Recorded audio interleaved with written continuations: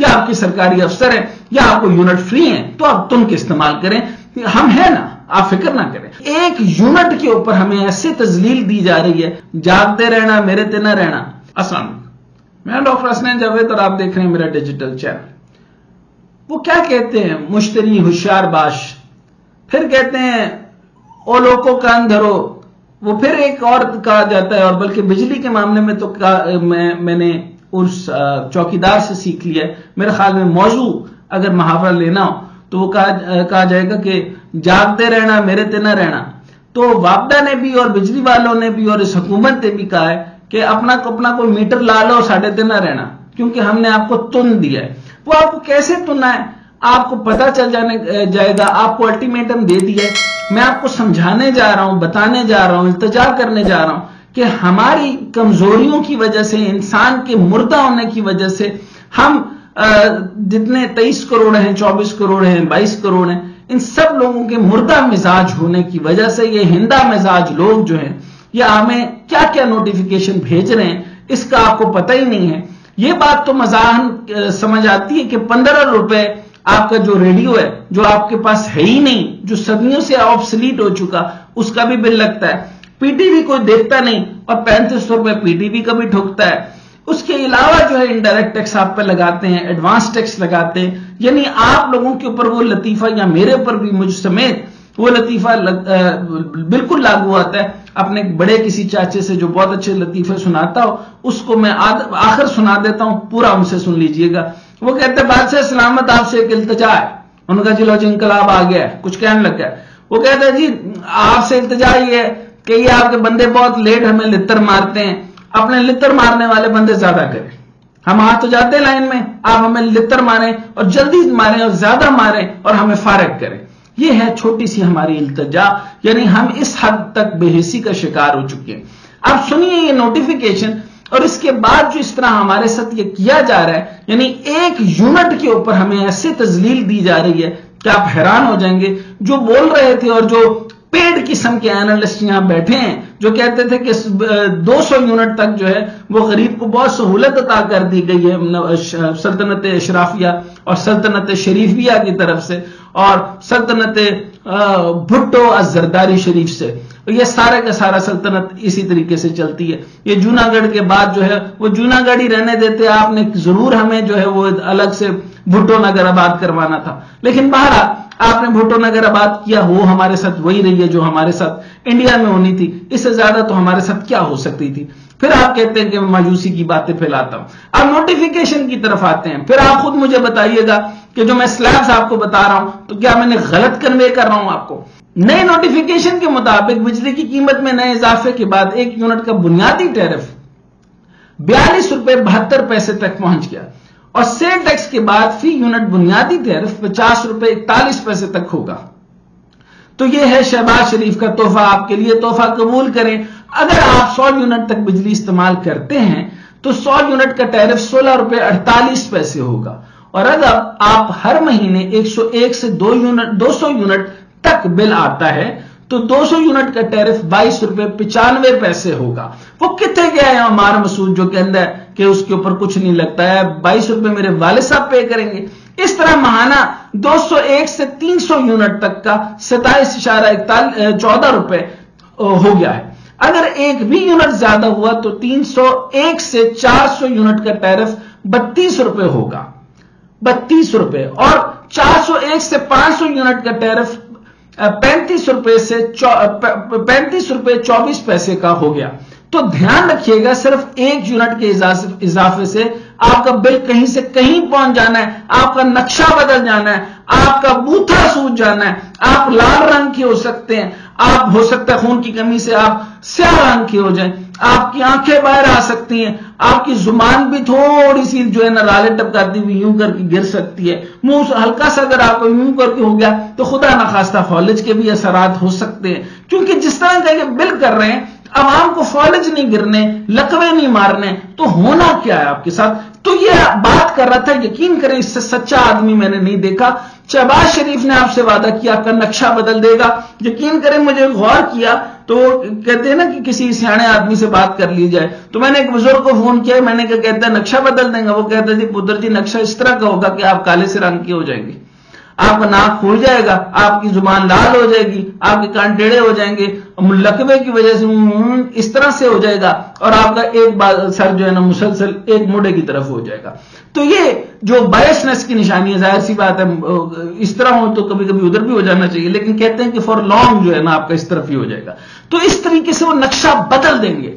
آگے سنیے کہ اگر آپ کا بجلی کا یونٹ پانچ سو سے ایک یونٹ بھی بڑھا، تو سمجھ لیں پانچ سو ایک روپے سے چھ سو یونٹ کا ٹیرف چھتیس اشاریہ چھیاسٹھ روپے اور چھ سو سے چھ سو ایک سے سات سو یونٹ کا ٹیرف سینتیس روپے اڑتالیس پیسے اور سات سو یونٹ سے زیادہ کا ٹیرف بیالیس روپے بہتر پیسے کا ہوگا۔ اس سے آگے ویسے بھی اشرافیہ کا میٹر شروع ہو جاتا ہے۔ اس کے لیے آپ کو پریشان ہونے کی ضرورت نہیں ہے۔ لیکن اگر آپ نے غلطی سے اچھا اس لیے آپ پریشان اس لیے نہ ہو کیونکہ جو لوگ سلطنت اشرافیہ سے تعلق رکھتے ہیں اور جن کا میٹر ریڈر سے کوئی تعلقات ہیں، تو چنانچہ ان کا کوئی مسئلہ نہیں ہے۔ وہ تن کے یوز کریں دباغ کے استعمال کریں، بجلی کا جو پنکھا ونڈو اے سی پرانے والے، گیزر جو گرمی میں بھی چلا کے رکھا کریں۔ اور جتنا بجلی ساڑ سکتے ہیں، ساڑیں، کیونکہ ہم ہیں نا بجلی کا آپ کا بل پے کرنے کے لیے، آپ کنڈے لگائیں میٹر ریڈر پکے کریں، یا آپ وابڈا کے اندر ہیں، یا آپ کے والد صاحب وابڈا میں کام کرتے ہیں، یا آپ کے سرکاری افسر ہیں، یا آپ کو یونٹ فری ہیں، تو آپ تم کے استعمال کریں۔ ہم ہیں نا، آپ فکر نہ کریں۔ لیکن اگر آپ نے غلطی سے تھری فیس فیز میٹر لگوا دیا جو اکثر لوگوں نے لگوا رکھا ہوتا ہے، تو یاد رکھیں کہ پبلک آور میں تھری فیز میٹر پر ایک یونٹ بجلی کی نئی قیمت اکتالیس روپے انانوے پیسے ہے۔ حد ہے، توبہ ہے۔ یعنی آپ اندازہ کیجیے کہ اکتالیس روپے انانوے پیسے یعنی on hours and off hours بھی آپ کے ساتھ کھیلے جا رہے ہیں۔ یعنی آپ آئی ایم ایف کا سارا جو طوفان تھا، وہ آپ کی کہاں کہاں سے نکالا جا رہا ہے، میں آپ کو بتا نہیں سکتا۔ آف پبلک آورز میں تھری فیز میٹر پر فی یونٹ بجلی نئی قیمت پینتیس روپے ستانوے پیسے ہوگی۔ تو ایک بار پھر دھیان رکھیں کہ صرف ایک اضافی یونٹ آپ کے بل کا نقشہ بدل سکتا ہے۔ میں نے بتایا تھا نا نقشہ بدل سکتا ہے۔ نقشہ دوبارہ تو نہ بتاؤں۔ جیسے ہی پی ڈی ایم نے عوام کا نقشہ بدل دیا ہے اور نواز شریف کو لا کے ملک کا نقشہ بدلنا چاہتے ہیں، تو میٹر کو دھاگے باندھ کر رکھیں۔ مہینے میں بس اتنے یونٹ چلائیں کہ مہینے بعد آپ کا بل دی گئی حد سے آگے نہ بڑھے۔ اس کے لیے کوئی الارم لگائیں۔ کوئی میٹر لگائیں، کوئی طریقہ کار کرے میرے ذہن میں ایک سر دست ایک طریقہ کار آ رہا ہے، وہ میں آپ کو عرض کر دیتا ہوں۔ یعنی ہمارے کچھ عرصے پہلے میں نے دیکھا تھا پرانی ٹینکیاں ہوتی ہیں، وہاں پر آپ نے جو ایک وہ بال نما بیرو میٹر سے لگ جاتا ہے، جیسے ہی ٹینکی اوور فلو کر جاتی تھی، تو وہاں پر جو ہے وہ بال لگا دیتے ہیں اور وہ جیسے ہی اس میٹر کو ہٹ کرتا ہے، تو آٹومیٹک جو ہے وہ موٹر بند ہو جاتی ہے۔ لیکن وہ کام نہیں کرتی ہوتی تھی، وہ موٹر پھر بھی چلتی رہتی تھی اور ٹینکی اوور فلو ہوتی رہتی غریب کی ٹینکی ہمیشہ ہی اوور فلو ہوتی ہے۔ غریب کے ساتھ مسئلہ یہ کہ اس کی ہر چیز ہی مشکل میں ہوتی ہے۔ چنانچہ جو بےمان دو نمبر سلطنت اشرافیہ کے لوگ ہیں، ان کی ہر چیز ہی ٹھیک رہتی ہے، کیونکہ انہوں نے خود سے تو کرنی نہیں ہوتی۔ ان کے پاس صرف زمین مار دینا چاہیے۔ اور ان کا زمین مرا ہو تو یہ معاملات ان کے چلتے رہتے ہیں۔ کوئی مسئلہ کی بات ہے ہی نہیں۔ اچھا اب اس کے، اب آپ، یہ جو میں نے آپ کو بتایا تو کوئی الارم لگوائیں۔ اور کوئی میسج پھینکوائیں اور آنٹرپرنورل ڈیولپمنٹ کے مطابق گرین ڈیولپمنٹ کے مطابق آپ کو طریقہ کار کریں، کوئی انوویشن کریں، تو سمجھ جائیں۔ تو اس کے لیے کوئی الارم لگا کے چوبیس گھنٹوں میں جیسے ہی میٹر مقررات کے قریب پہنچے الارم بچ جائے۔ اور بجلی کا یونٹ بڑھنے سے خود ہی بجلی بند ہو جائے۔ تو کسی الیکٹریشین کے پاس جا کر ایسا الارم والا ٹائمر یا آلہ بنوا لیں جو آٹومیٹک طریقے سے بجلی بند کر دے۔ ورنہ اور تو کوئی طریقہ نہیں ہے۔ ورنہ آپ کی سانسیں بند کر دیں گے شہباز شریف صاحب۔ اور باقی وقت اوکھے سوکھے ہو کر بغیر بجلی کے گزار لیں اور طریقہ کار یہ کہ پرانی مائیاں اس طرح کرتی تھی، بیویاں ہماری گاؤں میں، تو وہ ٹالی کے درخت کے نیچے سو جاتی تھی اور تھوڑی تھوڑی ہوا آ جائے تو اچھی بات ہے۔ اگر لو بھی ہو تو اس کا طریقہ کار ہوتا تھا کہ وہ جو اب مجھے کپڑا کا نام یاد نہیں ہے، ایک دوبٹہ ہوتا تھا باریک سا، اس کو گیلا کرتے تھے، اوپر لے لیتے تھے تو وہ بڑا کولر کولر افیکٹ آ جاتا ہے۔ تو یہ طریقہ کار میں اسی طرح کے بتا سکتا ہوں۔ آپ عمران خان کا مذاق اڑاتے تھے کہ وہ بکریاں، مرغیاں لے کے دیتا ہے، تو وہ کیا کرے؟ اسی طرح کے آئیڈیا آتے ہیں، کیونکہ جس ملک کے اندر جو ہے وہ آئی ایم ایف آپ کو چلا رہا ہوگا اور جس ملک کے پاس پیسے نہیں ہوں گے، تو اب آپ اندازہ کریں کہ آرگینک انڈے بھی جو ہیں، وہ دیسی مرغی کا انڈے بھی دستیاب نہیں ہیں۔ دیسی مرغیاں بھی دستیاب نہیں ہیں اچھا گوشت بھی دستیاب نہیں ہے جو وہ کئی میں نے پیٹس دیکھے ہیں، وہ کہتے ہیں جی ان کو اے سی پہ رکھیں۔ اتنے بندے نہیں رکھے جا رہے، وہ جو ہے، وہ امیروں کے کتے جو ہیں، وہ بڑے بڑے آٹھ آٹھ ٹن کے جو ہے نا چلرز لگا کے سوتے ہیں اور جو گولڈن ہینڈز ہیں، وہ بھی نہیں اس کے اے سی کے بغیر رہتی۔ پرشین کیٹس جو ہیں، وہ بھی اے سی کے بغیر نہیں رہتی۔ اور میں نے سنا ہے سلطنت اشرافیہ کی امیر زادیوں سے، کہ وہ یہ کہتی ہیں کہ یو نو اس کو بہت ہیٹ ہو جاتی ہے نا ہی she got heat stroke recently تو پھر میں یہ نہیں ہو سکتا، تو ہم اس کو کولڈ ویدر میں رکھتے ہیں، تو سو سو فور تو اب آپ کی پیاری پی ڈی ایم نے لوڈ شیڈنگ آپ کے ہاتھ میں دے دی ہے، دن میں جب مرضی چاہے لوڈ شیڈنگ کریں، تو ایسی مہمان اور میزبان حکومت آپ کو کہاں ملے گی؟ لیکن یہ مسئلہ ان لوگوں کے لیے ہے جو باقاعدگی سے، ایمانداری سے بل ادا کرتے ہیں۔ اگر آپ کے ابو تایا بابدہ میں جج ہیں، بڑے سرکاری افسر ہیں یا آپ کے میٹر ریڈر سے سیٹنگ ہے یا پھر آپ کے کنڈے ڈالنے والے قبیلے سے ہیں، تو اس ٹیرف کا آپ سے کوئی لینا دینا نہیں، موجے مارے یعنی کل دا ویوز آپ کو تو بالکل بھی گھبرانے کی ضرورت نہیں، آپ کے لیے تو بجلی مفت ہے۔